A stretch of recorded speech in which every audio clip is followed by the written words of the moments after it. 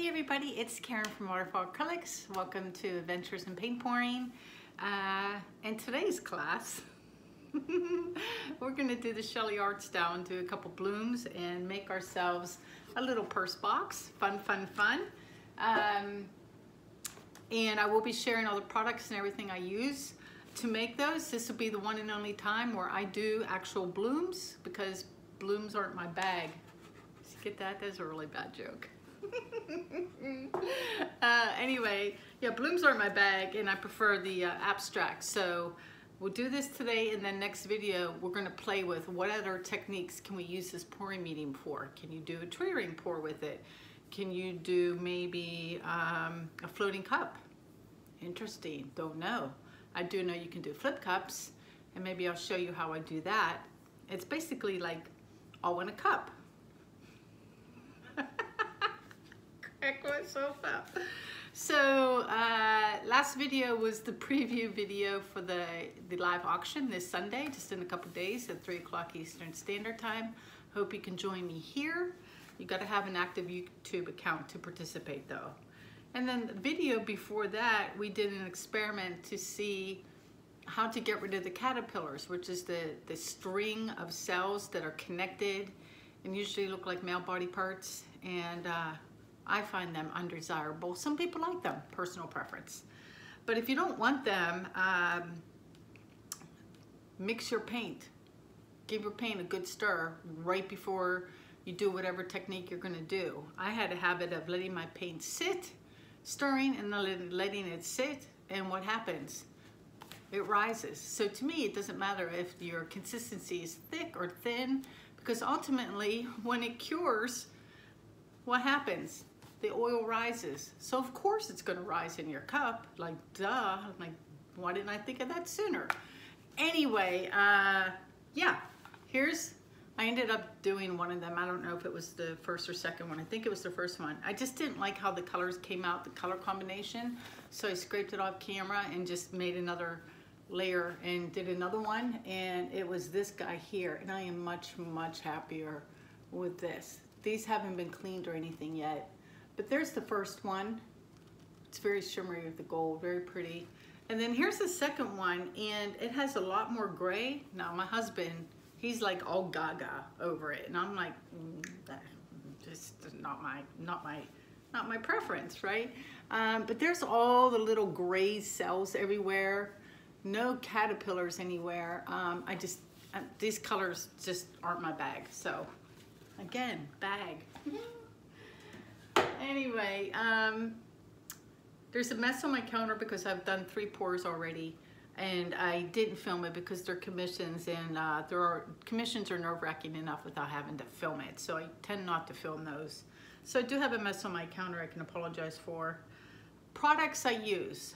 So ultimately, the deal is the pouring medium is untinted house paint. Like, you know, when you go to Home Depot or Lowe's and you go and you pick your little chip of color and you're gonna do your kid's room or do your living room, and you take your chip up and you buy a little can, that little can is usually deep base untinted paint and then a guy like matches it up and puts in the color and gives it a shake and hands it to you. That's the pouring medium. It's that untinted paint. That's the, the basis for all of this. Um, you do want to buy cans and lately I've been grooving on the Glidden Premium and you want it to say base three. This is the stuff and some of them it'll have a little thing, must be tinted. So that's your clue like, oh, you wanna put color in this, right? Don't buy flat, get semi-gloss or satin those are the colors, um, those are the types you want. There's a wide variety of brands that people have been trying. This has been working for me. So I have this and base three, and then your, your puddle or your pillow, I have been using, oh, I have a gallon of it. the same brand, the same thing, and semi-gloss white, and you'll notice it says pure white and it says base one, which means you don't add anything to it. This is your pillow. This is your puddle that goes down on your canvas. With that all said, let me get you down. I'll show you how I mix. So excuse the mess. But here's my colors. I take, I take um, that base and I had it used to measure it, now I just eyeball it. And I fill it in, this is about a half a cup, so four ounces. Four ounces of the house paint, and to this I add two ounces of varnish. Now I have tried the Liquitex varnish. Um, it didn't work quite so well, so I did go online and order the Chroma Jo Sonja Gloss Varnish. I find that this stuff just works the best. Um, this gloss varnish, you can get it from Blick's, Jerry's Artarama. Amazon had it, and now they're back ordered, but this stuff works great. And four ounces of the base three untinted paint with two ounces of the gloss varnish. You give it a mix, no silicone, no torching. This is it. That's your pouring medium. Um, am I out of a color? Should I make another color? I'll make a color just to show you guys. So here's my little cup. You need very, very little to make blooms. So I'm just gonna put in here, wait, am I on camera? might help if I'm on the, on the uh, in frame. So I take this, maybe a half an ounce. Now you can use tube paint, you can use high flow, you can use fluid, soft body, heavy body, you would have to add a little water. I have been using the fluid acrylic, but since I think most people have tube paint, I'm gonna go, I had some color shift folk art here that I made in my last painting. That's what this green is right here. I'm gonna go and grab another tube paint real quick. I should have grabbed one. Hold on one sec.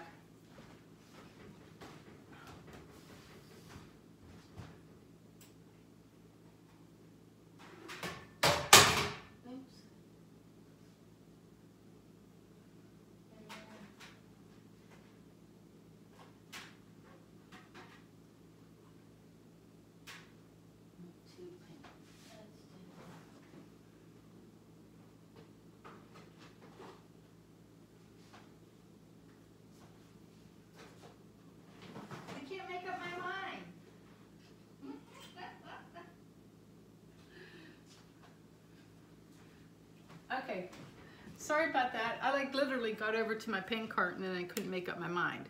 So I just grabbed, this is Sennelier Acrylics. This is heavy body. This is cobalt turquoise.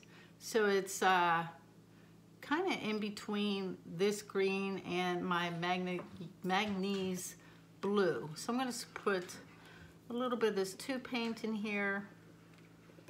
Plop some in, that seems like a lot. Go ahead, get in there. That's plenty.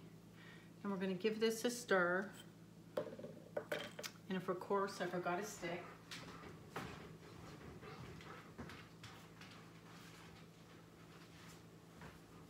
I grabbed an extra one just in case.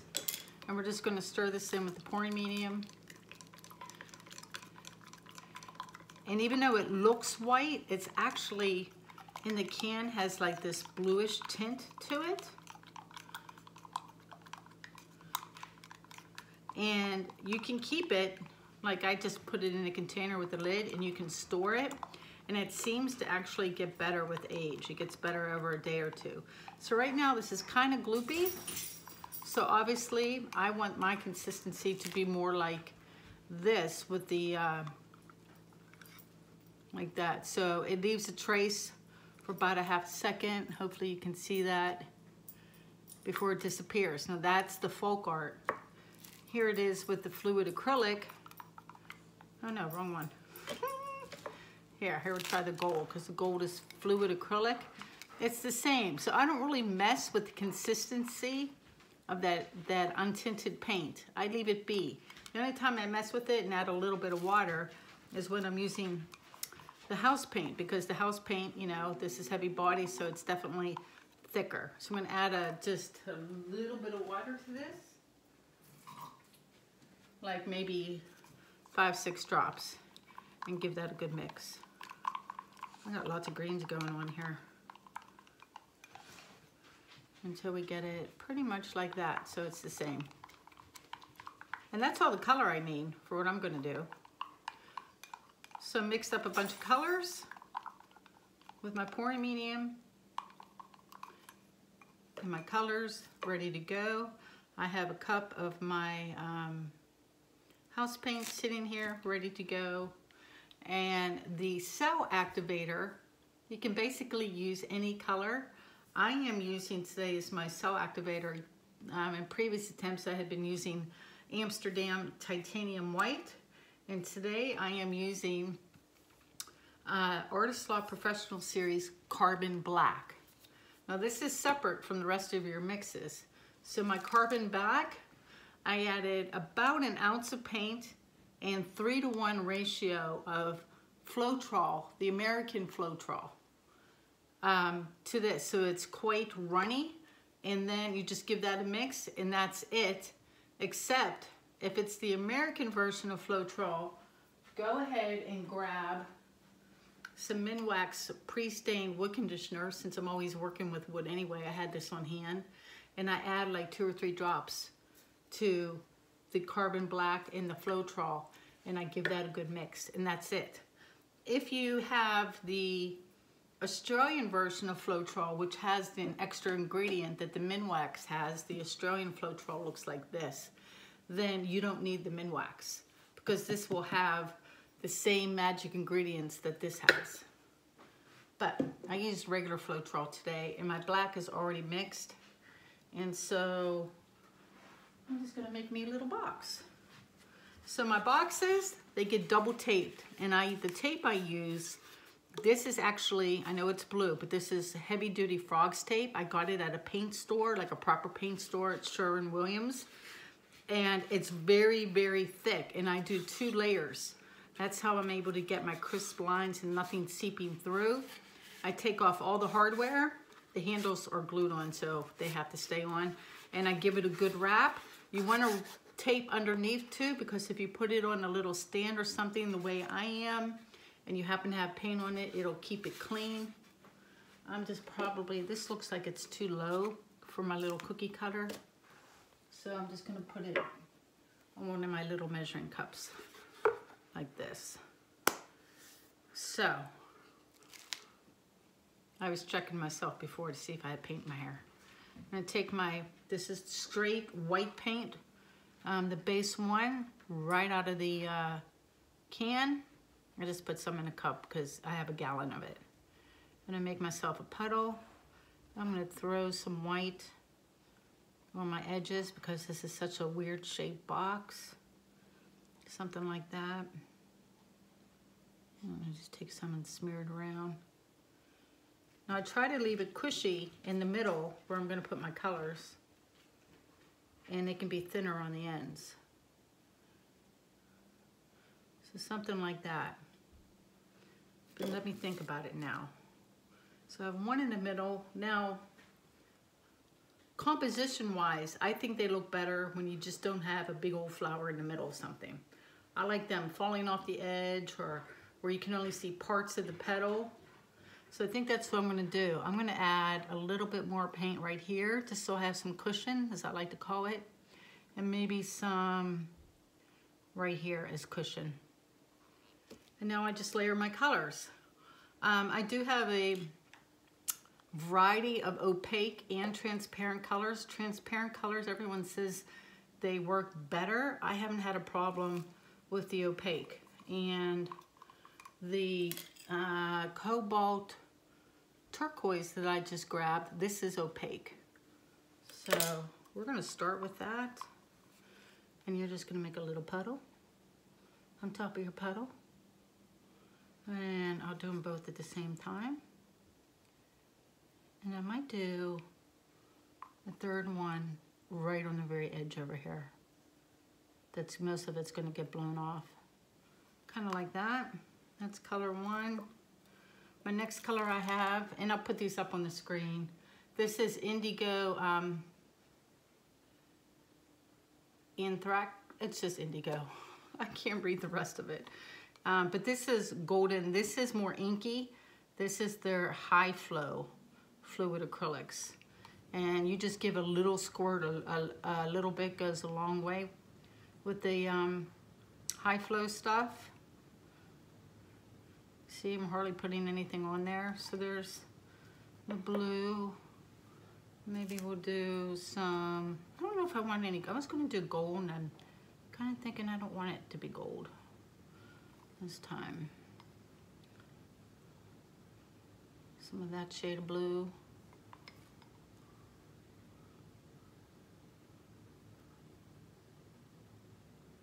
I think I'm kind of too close. We'll see. I probably should have had one right here too. Yep, let me back up. Because they're all like too much in the corner. Let's do another one there.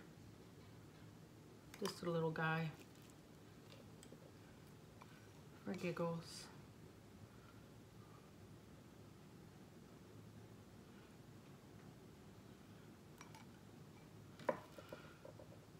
And then what? I'm missing the blue. This is such a pretty shade. Oh my goodness. There. And let's do the color shift green. Just a little bit there. All up there. Oops. Splooging everywhere. A little bit there. And then the cell activator goes on top. And if you watch, it's heavier. Carbon black is um, almost as heavy as titanium white. So it wants to sink in pretty darn quick. It's like, oh, I'm going deep diving. See ya.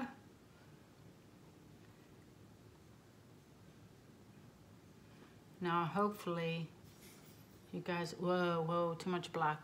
Hmm. Um, you're going to be able to see me blow.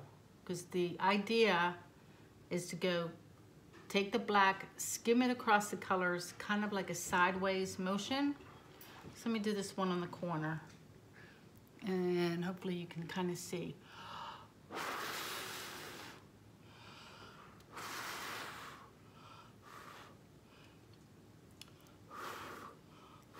I'm just gonna let the rest of that go off the corner because this is all like off center for me. It's my favorite. I'll do this one right here.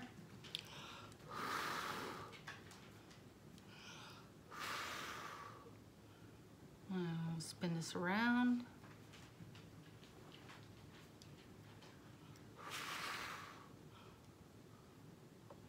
And then we'll take it off this way.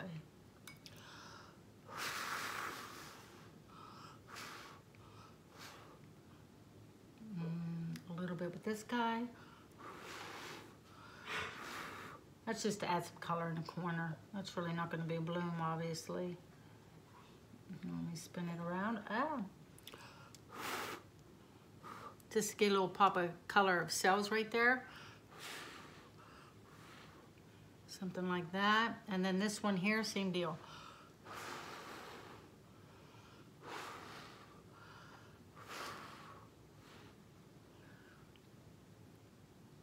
ta-da!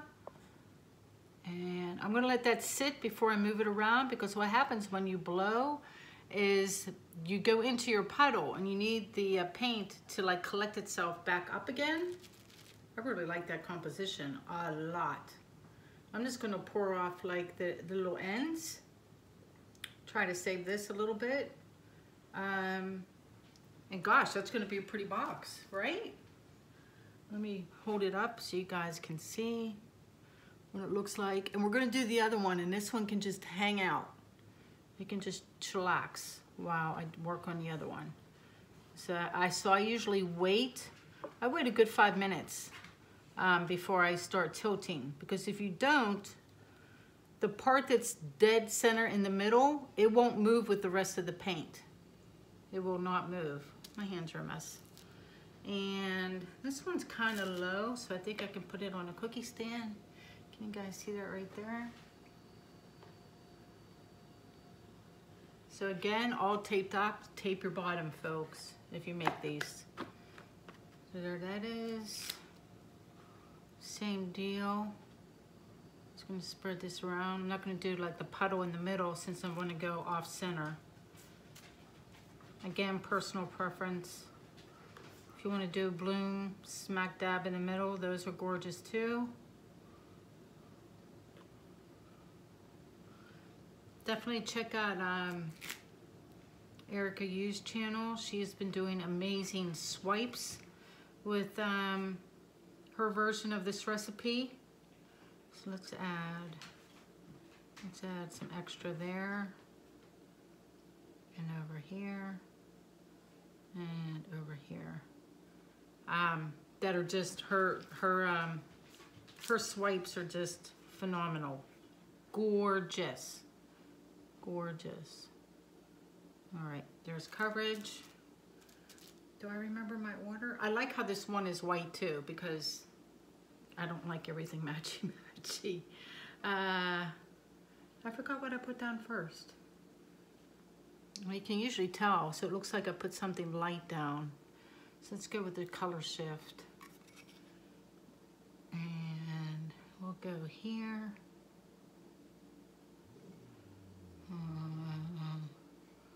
Kind of, kind of maybe in the middle, bottom middle. This time there.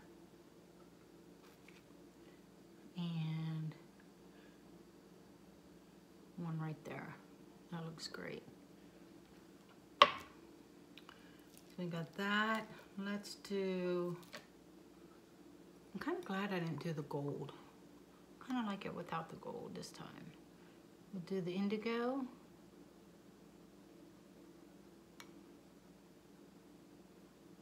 And the other one's dripping, which is good. Indigo.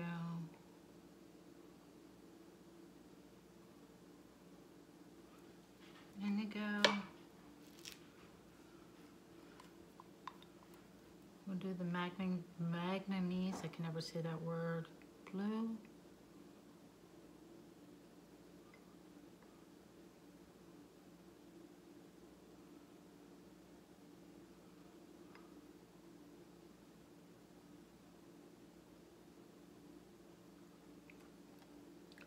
There's a one, two, three, and then maybe, what else do I got? Oh, the color, of the, uh, the Sennelier uh, Cobalt Turquoise. We'll throw some of that in the middle. There's a Cobalt Turquoise.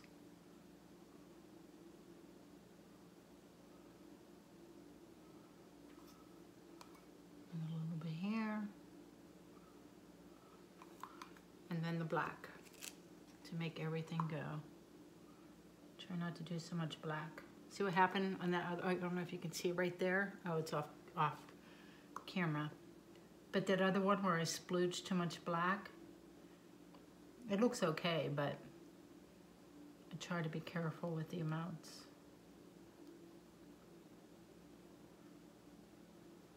Do a better job this time.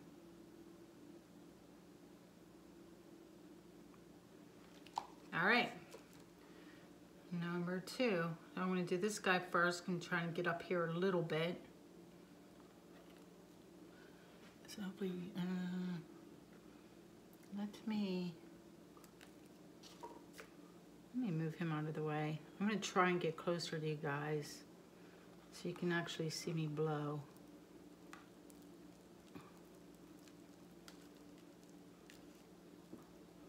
I'll set him there. And hold on, I'm gonna wipe off my hands real quick or rinse them.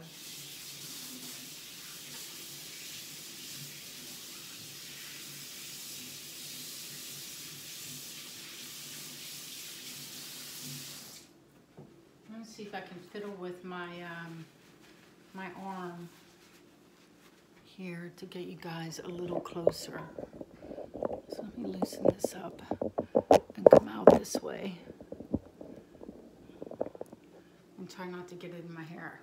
My headband's upstairs and I was too lazy to go get it. pick this up and kind of go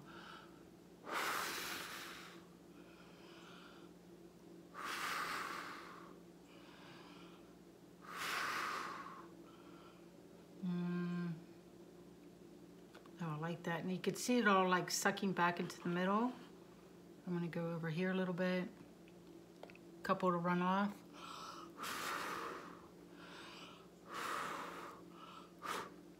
Like that. And then this guy just a little bit this way. I could feel it in my hair. And turn this. Spin it around. Pick it up.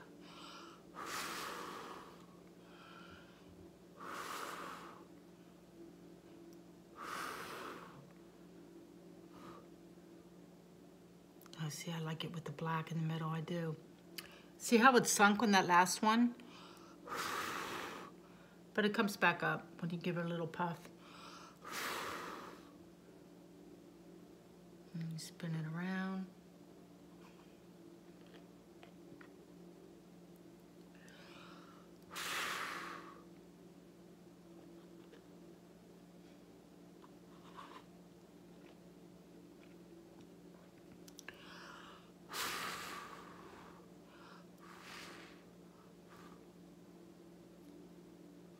Those are gonna have black center. So there's this guy.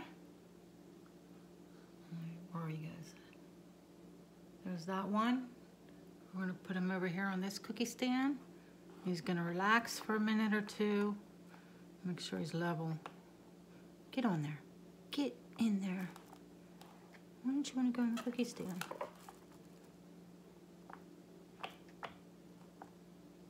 All right, there you go. And let's take this first one now and get rid of just a little bit of paint. I'm just gonna tilt it toward this one corner a little bit just to get rid of some of that extra color.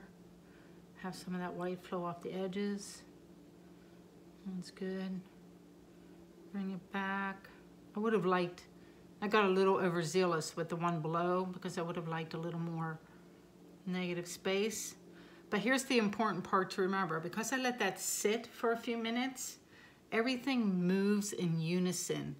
If you ever watched um, any of the video snippets on um, Shelee Carruthers' Instagram page, whenever she would tilt or move or, or use a dustpan or whatever, the paint always moved in unison.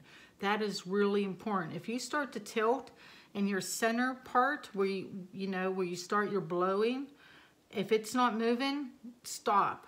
Some people bang on it to get it to go. Um, I find I just, you know, patience. Patience is everything here. I'm gonna give this a little blow, but otherwise I'm kind of, I'm kind of in love with this. I lost a little bit of my cells right off the side, which is kind of sad. So I'm gonna give that a little blow. Just to put, bring some back. And then right here as well. Well, that's just blowing off colors right there. So that one's done. See all the paint I lost around the edges? Now my sides are all taped. It would be pretty um, because it holds cells so well. You could do one of these boxes and just let it run. Um, that would look pretty cool too. Or on a canvas, you know, where you don't tape your sides my husband's home. So number two here has been sitting now. Oh my gosh, so pretty. Wow, I did a good job if I do say so myself. So here's number two. They go together, I have some white space. Um, what don't I like? I don't like part of this white over here, so I'm gonna let that go off. Bye-bye. Everything's moving in unison. Very, very important. Take some of that off on this side, bring it back. And then we're gonna come up to this one corner and just take a little bit off. And then go back, because now that other part's getting all stretched out and I don't like the way that looks. Kinda like that. Ta-da! That's it. That's how I do them. I love how abstract they look. I really do. I'm a definitely a big fan of that. Let me put two cookie cutters here and set this half of the purse on here. Why does it seem, make sure it seems level. Oh, you know why? Because there's another cookie cutter stuck to the bottom.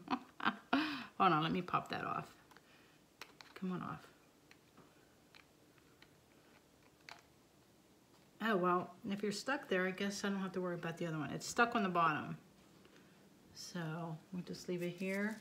Again, um, I don't know why I keep forgetting my gloves. let me um, wipe off my hands and I'll get you guys done for um, a closer look. But, uh, oh my gosh, love the colors.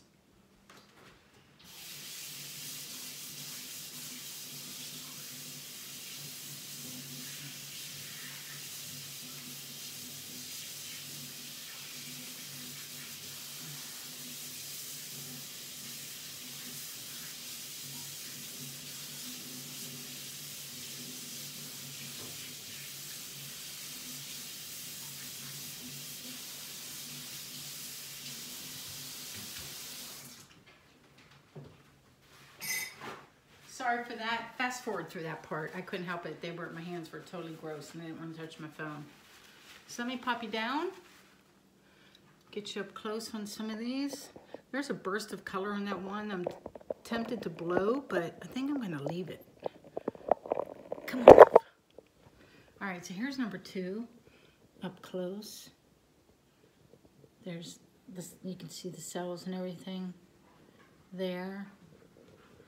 This corner here is amazing. the other corner, really, that's gonna be really pretty. And then here's the other one. And here's where I had too much black. But I'm gonna leave that like that because I like the white. Like that. So there they be. Um, those will be dry in about a day. They won't be cured, but they'll be dry. Um, so they'll hang out for a week. They won't be ready, obviously, in time for the uh, functional art auction. So they'll go up, that box will go up on my Etsy shop um, once I decide how to sand it and uh, resin the tops and everything and put it back together and uh, put it up for sale. Super cute.